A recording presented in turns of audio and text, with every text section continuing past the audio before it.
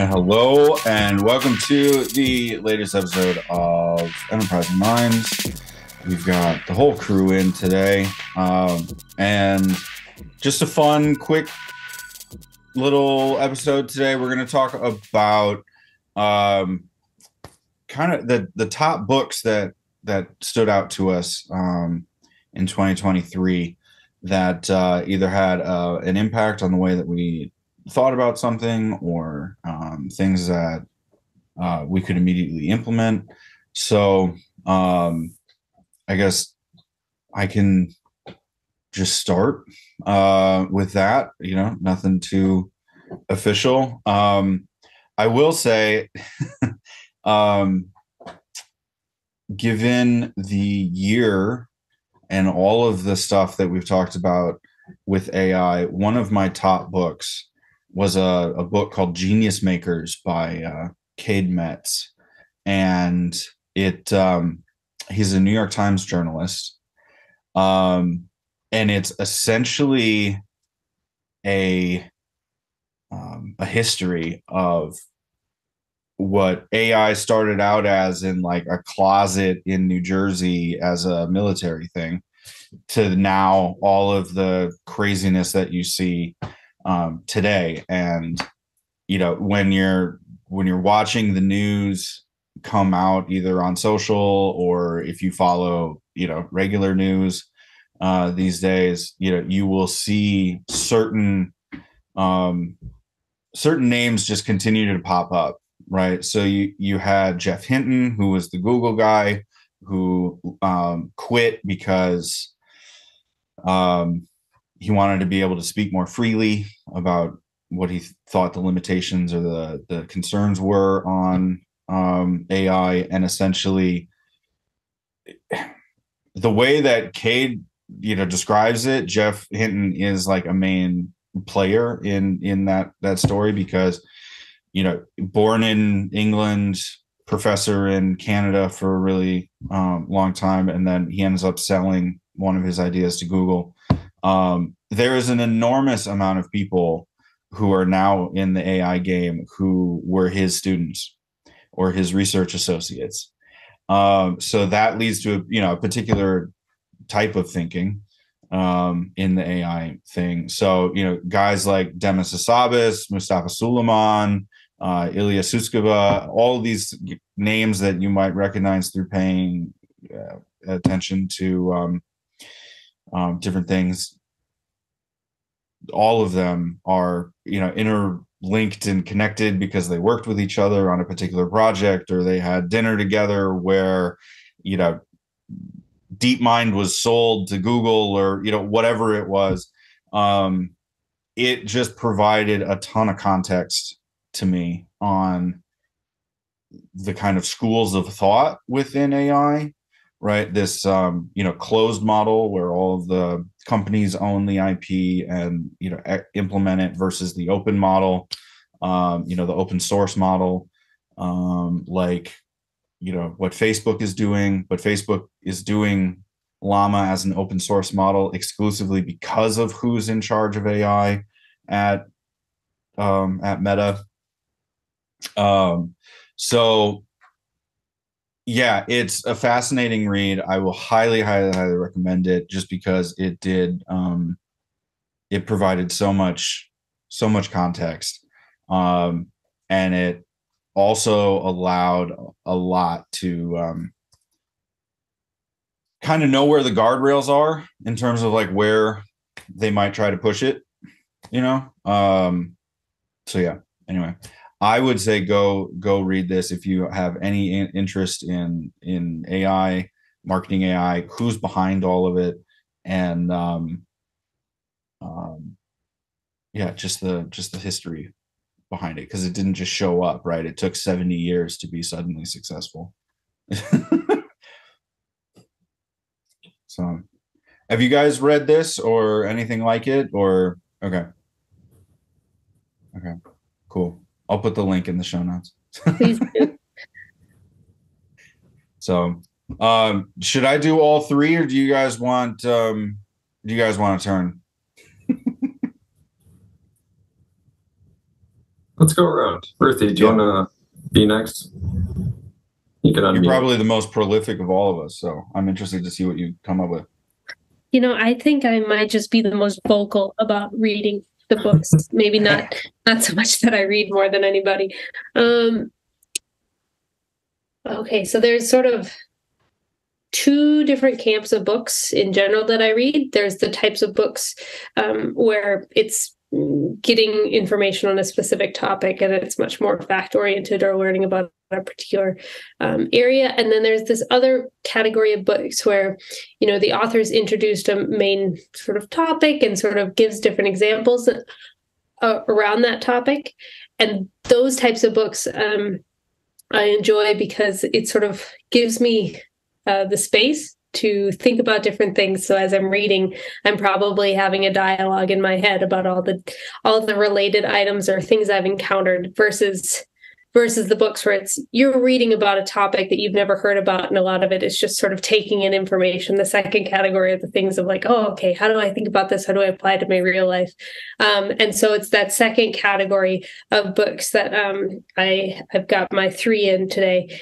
And the reason i bring up that sort of two categorization is because um, you know sometimes the topics that they're bringing up um, it's not very dense. You know, you're not hearing the different schools of thought and the history and such. It might be a little bit, I don't know if fluffy is the right word, but it just gives your brain a lot more read, room to breathe as you're reading, um, where, versus the books where you really have to sit and concentrate on every single thing that is being said by the author, which are good books too. That's just not the category I'm introducing today. Um, okay, so the first one in my book, my group of three, is uh, Visual Thinking by Temple Grandin. This book I read probably in February timeframe, perhaps. Um, and quick synopsis: She, um, Temple Grandin, when she was in her twenties, realized that um, she was, um, she thought only in terms of pictures, and a lot of other people thought in terms of words. So whereas myself, I've got sort of a stream of discussion going on in my head, and there's sort of things that um, are coming out verbally in my head all the time. Uh, in Temple Grandin's case, she just thinks in pictures. There's no there's no words. Um, that was a pretty big revelation for her, as uh, you can imagine. And this book explores sort of the different types of minds with an emphasis on the visual thinking. Um, why where um, different types of minds might be better suited for different tasks, the implications, how it's good to have lots of different minds, um, and what our education system might be doing related to encouraging or discouraging different types of thought and activities.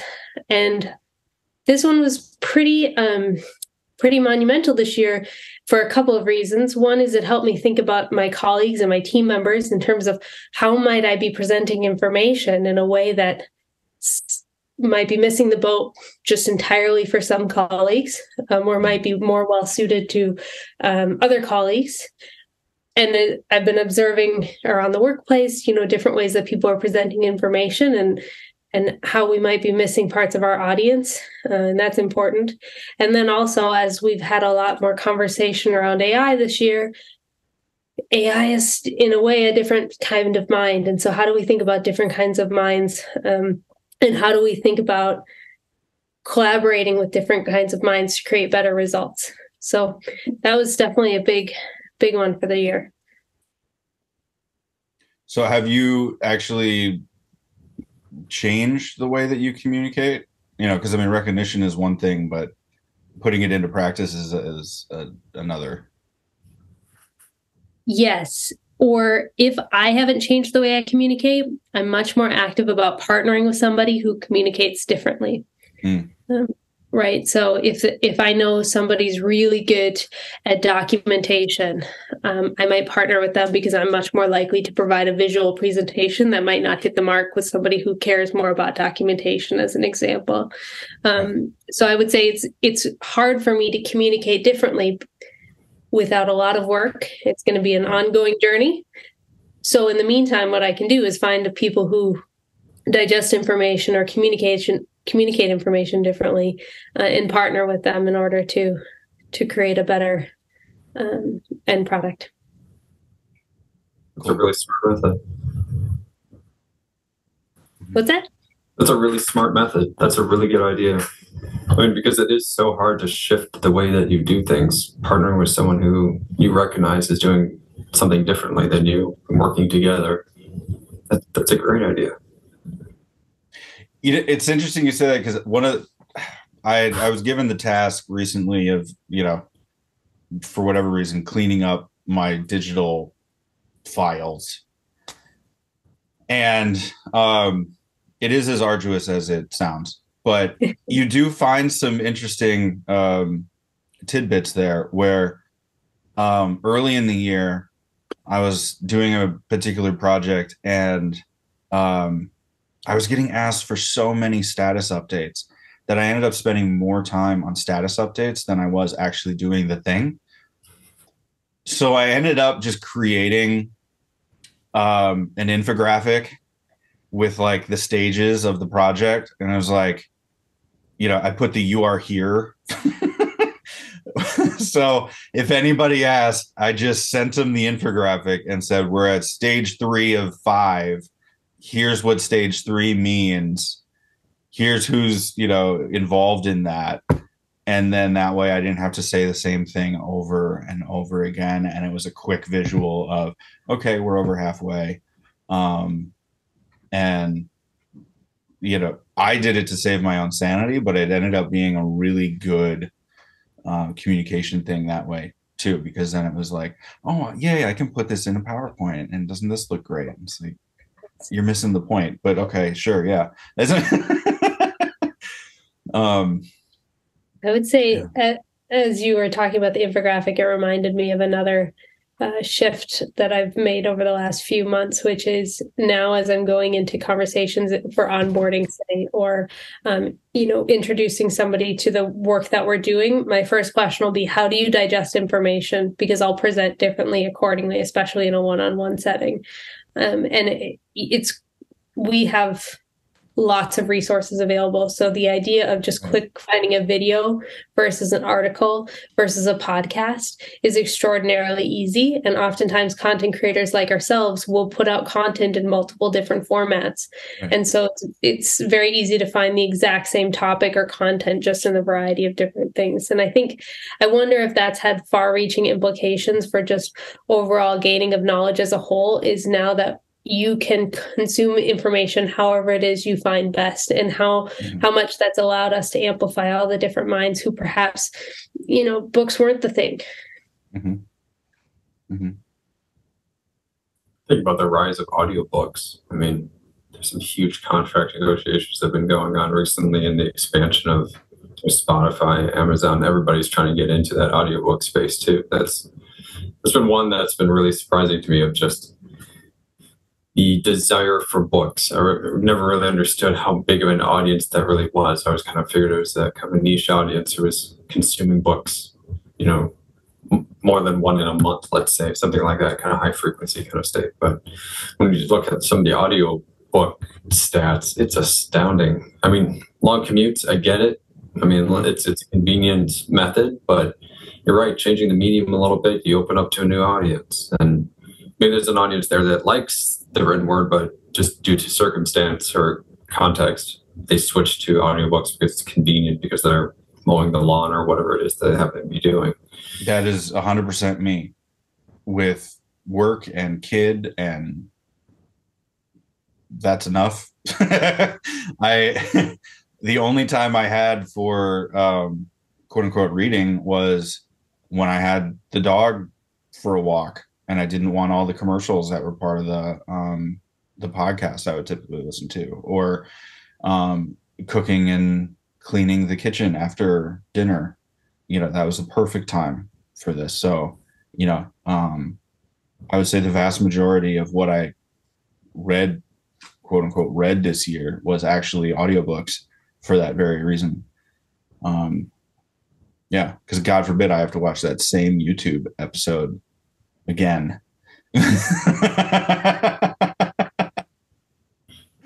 so, Alex, um, what uh, what which one stood out for you um, with your? Sure. I mean, in previous episode, we had already talked about one book. So that was On Grand Strategy by John Lewis Gaddis. And the kind of synopsis for that one um, if you're trying to take on a, a, very large goal, large task, you know, long-term kind of strategy, it helps you kind of reframe it in a way of how can I go after this and how have others gone after this and what's a method to get there. Um, but we've talked about that in a different episode, so I'll do a, a, kind of short pitch for another one, but it is not a book. There is a book, but I don't recommend it. I recommend the video, and that's Simon Sinek's "How Great Leaders Inspire Action," or you can search for Simon Sinek Why TED Talk. If you find one with really low resolution, kind of crappy video, that's the one all of us know it. Um, we've watched it even together at one point. It's a great way to think about the greater goal and to start thinking about how to get to there and define yourself around the greater goal of things instead of just how you happen to do something. So, that one I would suggest. I have the book as well, but it's full of examples that just kind of continue to have the same point of what the video covers. So, I recommend the video.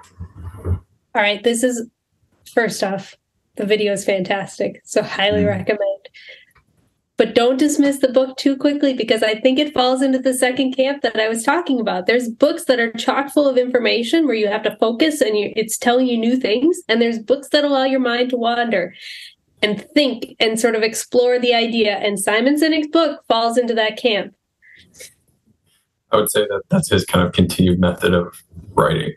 If mm-hmm. you've I own a number of his books. They fall into that same category. I will say I I am sympathetic to your view, Alex. Um, of yeah, I mean we've discussed it. We've discussed it before. Um, you know, respect the guy, but the, it is just like a ton of examples saying the same thing. Uh, which is why the uh, this will be a little side tangent, a little bonus recommendation um, Simon Sinek's episode um, interview on the Scott Galloway podcast from this year was really good. Um, to the point where um, it, it became this like therapy session for Galloway. Um, and it was it was really just it was just really good. It stood out above and beyond a typical business podcast.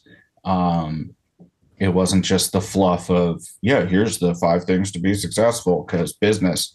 Um, you know, it actually got to what drives you, what, you know, um, what leads you to do this. And then, you know, when you can hear their voices start to break because they're actually getting to a core feeling like it was really good. It was really good. All like like I said previously, I'll link to all these things um, so that everybody can share in uh, in all of the tasty goodness uh, of these topics. So, speaking of which, I have to thank you, Ruthi, for this next one. Um, Ruthi got me into Rory Sutherland. Yep, that's the exact book. Um, and I've spent probably way too much time with this guy uh, over the last year because I found myself um, listening to the um, the original TED talks and going, "Oh my God, this articulates so many of the things that I've been struggling with lately." Um, so then I ended up watching like all of his stuff like three times throughout the year, just like revisiting it, getting a little bit something different, revisiting it, getting something a little different, and then actually reading the book, um, which to Alex's point was a lot of the same examples that he used in his presentations. Which okay, I get the game.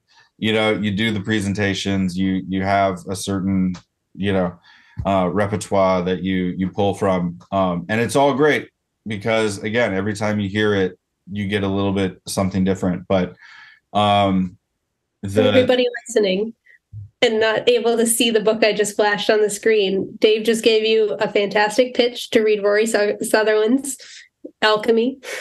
Correct. Yes. The dark art and curious that. science of creating magic in brands, business, and life.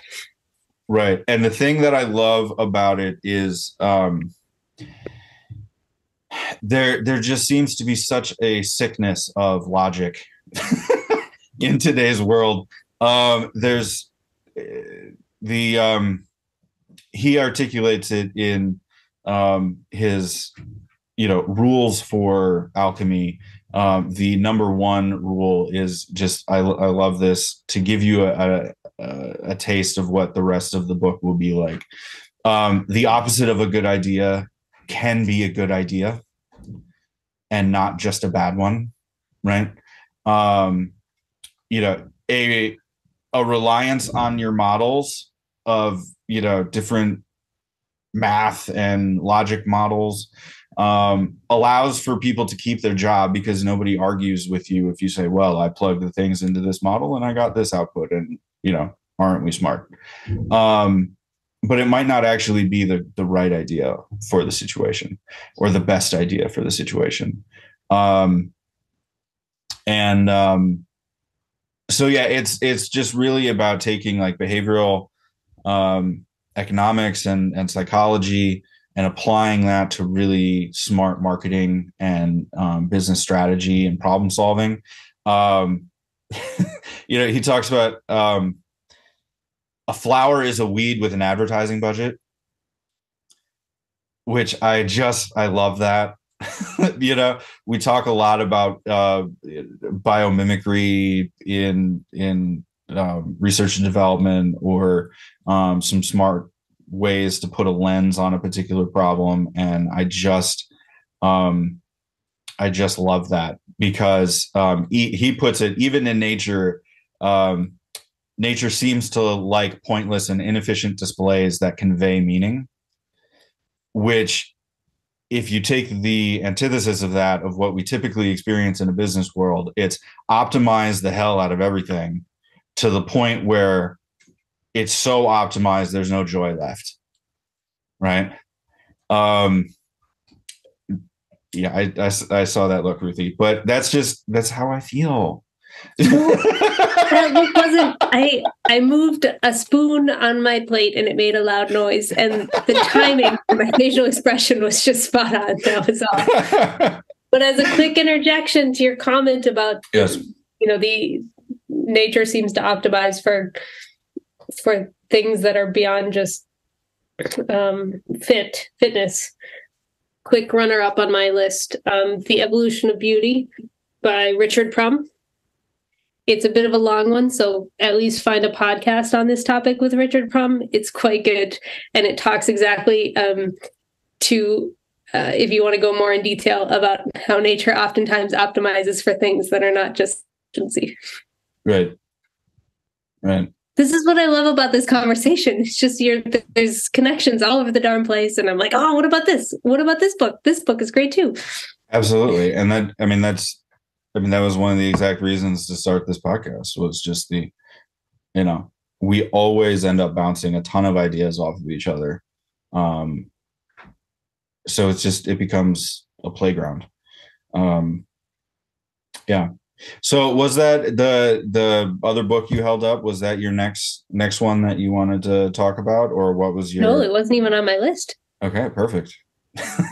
I'll go quick unless Alex, do you have any follow ups on that one? No. I'll go for it. All right. Um, so my next book um, is a very short and sweet little book called Excellent Advice for Living Wisdom I Wish I'd Known Earlier by Kevin Kelly.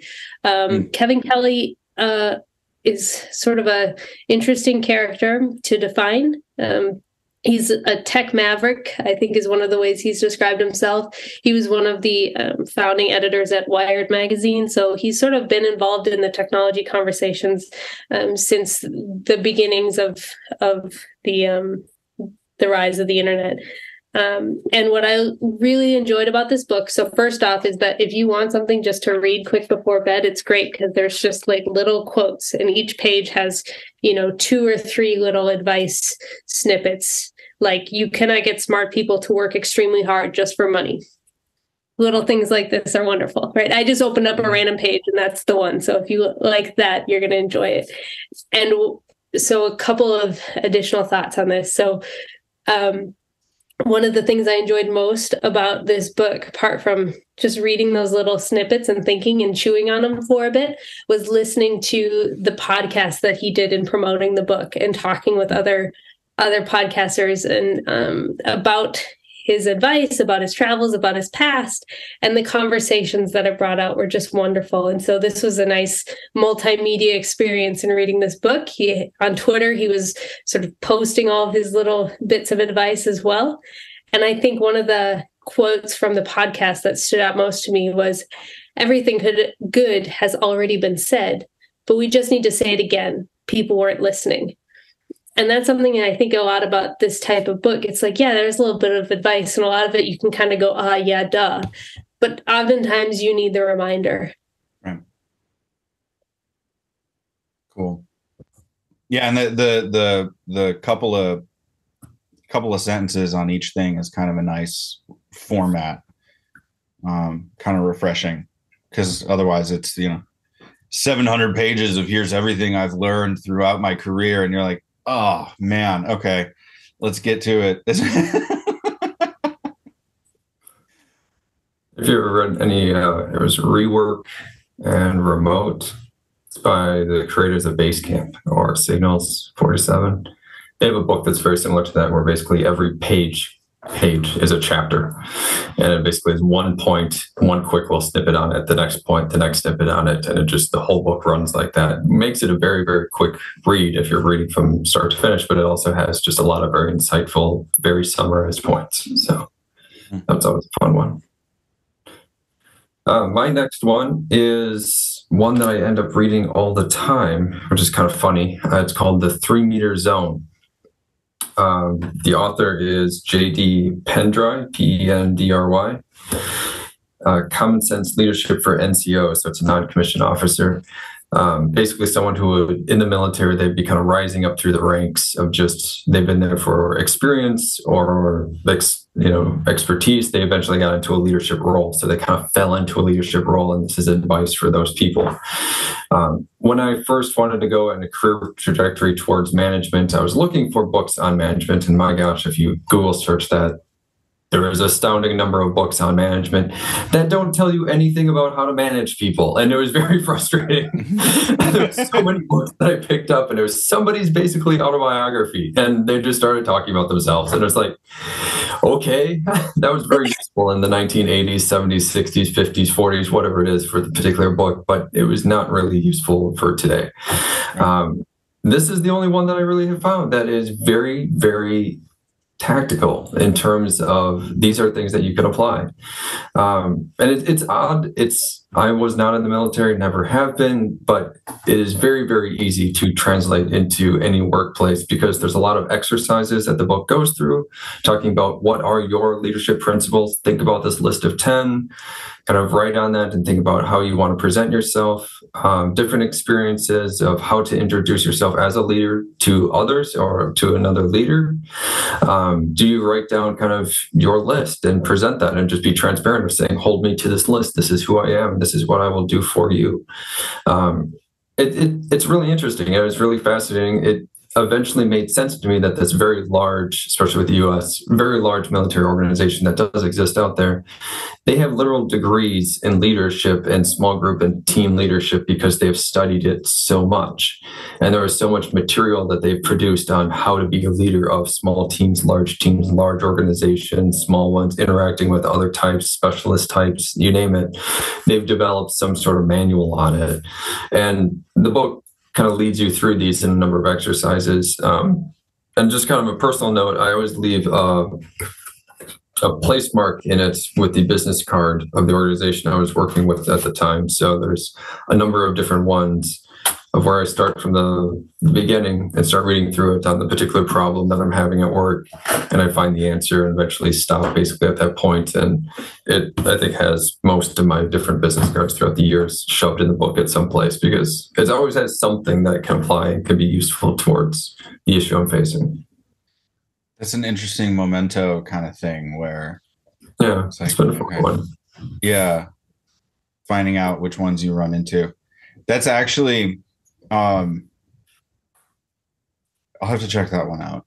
That that will be seems to address stuff because you're right. It does turn a lot of that consulting business management stuff ends up being just that. It's the the ticket for consulting or other things um, instead of conveying good information on a topic right like, well i wrote a book on this so that's why you should hire me at a thousand dollars an hour no but you did kind of queue up uh, my next book and this is the only one that um, um, well aside from alchemy um, this is the only book that after reading the um, audiobook version i went out and got the physical one because I wanted to come back to it. So it's Principles by Ray Dalio. And if you're unfamiliar with um, Ray Dalio, he started the most successful private um, investment company of all time, um, Bridgewater Associates.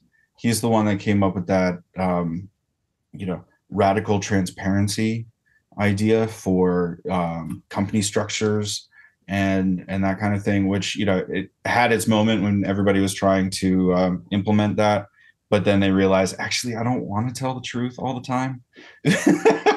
Um, or the the existing structure just didn't fit that um, that piece but um, it is autobiographical. Um, he has a wonderful new york accent uh, which i know might be grating to some people but I happen to enjoy it. So it kept me interested um, in it. But he is very clear on I tried this, I totally screwed up. And here's what I learned from it. Or I was going down this path and three people came up to me and said, You're off your rocker. And I had to deal with that.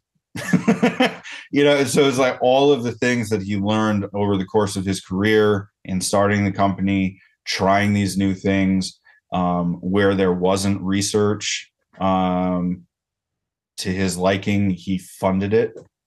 Uh, you know, like with with universities um, and and reputable sources. And the the cool thing about this too is um, it's not just about you know work principles. It's also um, his view of you know here are things to be successful life principles. Here's you know where the the two of them blend right? Because you spend so much time at work um, that it's such a huge part of your life. You should um, have them in concert with one another but not necessarily um, you know at odds or, fi- or fighting or you know too much right? Like everything should be balanced but um um so he has he has like these nine principles for a successful life, which you know I can grab off of um, his LinkedIn or his own site uh, and and put into the thing. But um, one thing that I absolutely want to call out um, um, is uh, the the number number four and number eight. Uh, so number four in his principles is be open minded and assertive at the same time. Um, that is absolutely necessary. Um, I have found um, in my personal and my work life. Um, so that definitely resonated with me. Um, but then also number eight, pain plus reflection equals progress. Um, you know, there's only so much you can control throughout your life, either work work life or personal. Um, and I think through talking with you guys, um, and seeing just how some other coworkers deal with with things. I don't think enough people actually take the time to reflect. I mean, even if it's just a cup of coffee and staring at the wall, you know, to just be like, okay, who, what, where, when, why. Um, it can just be so powerful for that. Um, and if you are new to that kind of thinking or uh, want worksheets or whatever else, um, Dalio basically has given all of the apps that he created for people management in his company or the research that he's thinking. He's made all of them free and available. Um, all of the worksheets um, that are in the book are free and available to download. Um, and it was just such an aha moment. Like every time I would be walking the dog, I would have to stop and like capture a note um, reading this book because it perfectly articulated exactly um, the massive frustrations that I found with my situation at the beginning of the year. Um, so to realize that I wasn't alone, it was probably just a cultural thing. Um, and here's a new way of thinking about things uh, was massively impactful. Uh, so I'd highly recommend it. He's got some amazing, um, like quick animations on his YouTube um, channel that he's done with this. Um, so yeah, highly, highly, highly, highly recommend it. It's good.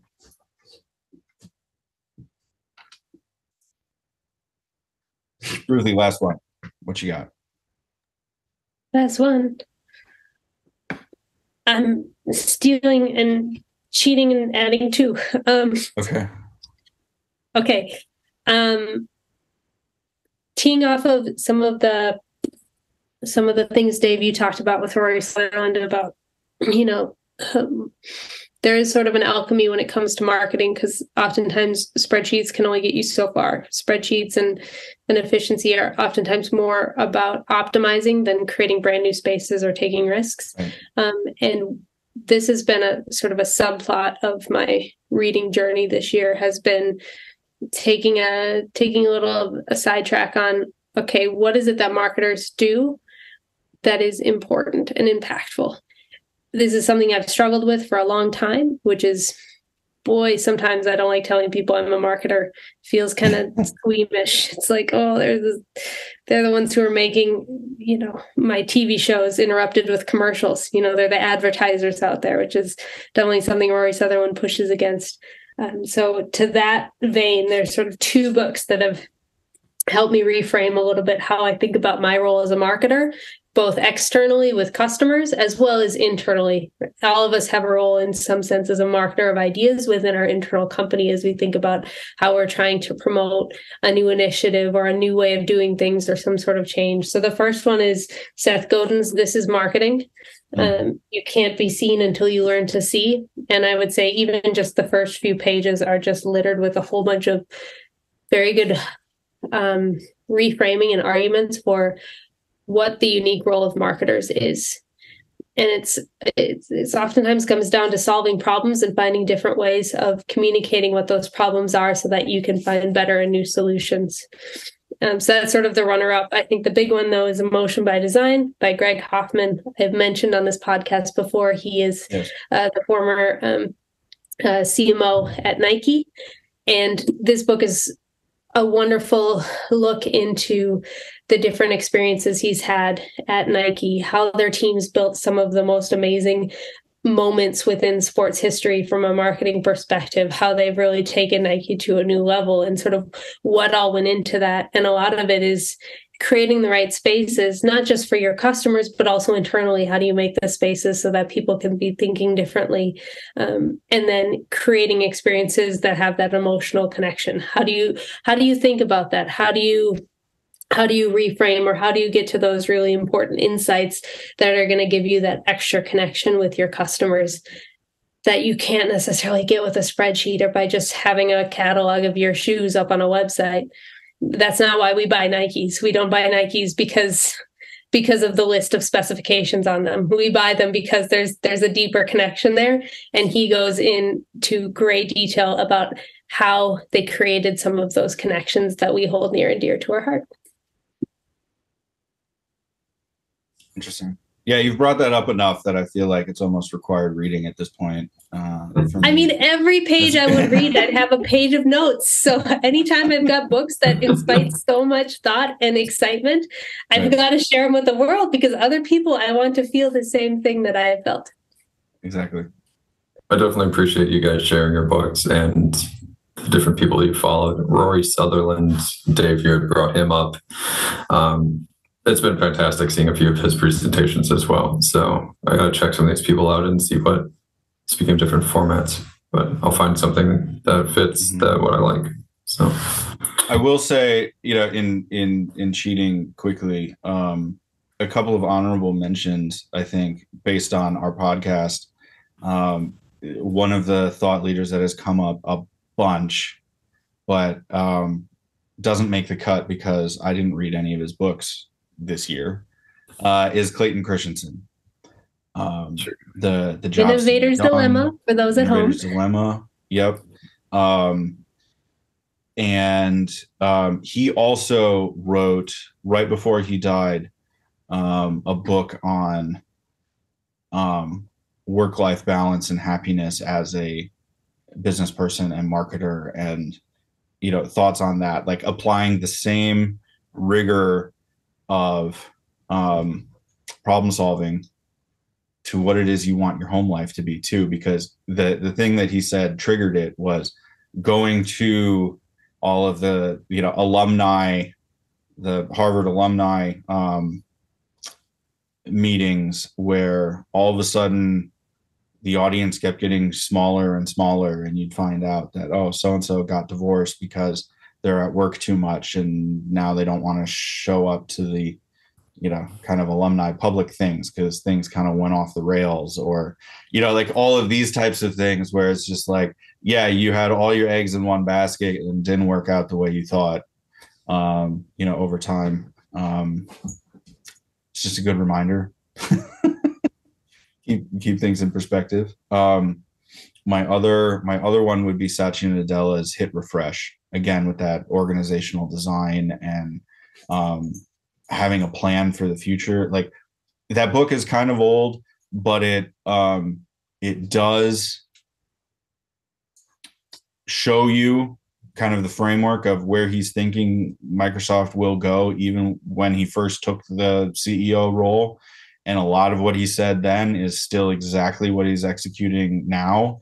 Um and but the importance of culture and challenging the cultural norms and um, you know reframing what has always been especially at such a large incumbent organization um, is such a massive lift you know that it has to come from the ceo so him talking about what he wanted to do with microsoft and then what then happened with the cultural change i mean obviously it's biased because it's his book but you know it's at least one one lens um toward that. Uh, it's another good one if you're interested in, you know, organizational culture and and um, putting a flag in the sand for something.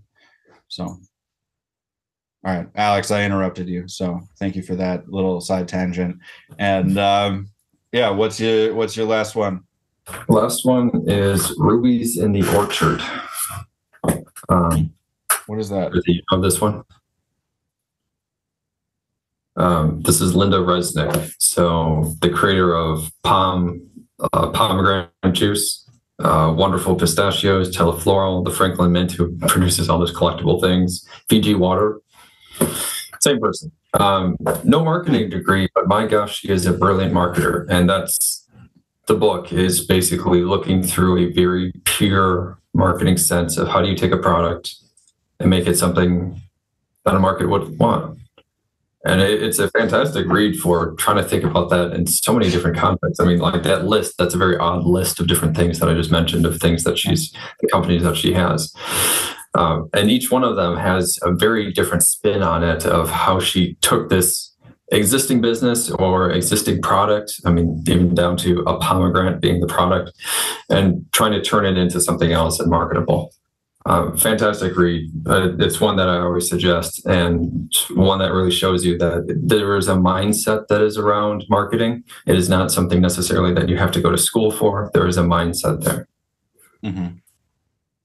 You know, it strikes me as you talk through that particular book, there is a red thread throughout a number of the books we've talked about today about the marketing mindset and, people who are speaking about that marketing mindset and how to think differently than perhaps um, the accounting department often thinks about marketing. And that might be one of the important skill sets that we all cultivate as we enter in this new world of AI and its various product- productivity tools and shifts in the way we work Mhm. is knowing those different skill sets within marketing so that we can best utilize all these fancy, fancy new AIs and LLMs. So, Ruthi, you're saying the what's not so important, the why is? Nice. Nice. Simon Sinek call out there, Alex. Very nice. Where would one find the why? There you go. All right. Well, now that we've um, completed the narrative structure and we have finished where we started, um, we will end. Thank you, everybody, for uh, listening to this episode. Uh, like I said, show notes are on the website and in the description. Let us know what you've been listening to, reading, watching uh, that's had an impact this year. Uh, always looking for recommendations. And um, yeah, um, I think we have a uh, a couple of follow up episodes potentially on um, the marketing mindset and uh, Ruthi, your rather brutal question of uh, what do marketers actually do that's useful and impactful. um, so let's maybe tease that one out and uh, you know. Um, yeah, mull that one over. So every thanks everybody. We will see you in the next episode. Take care. Cheers. Think so.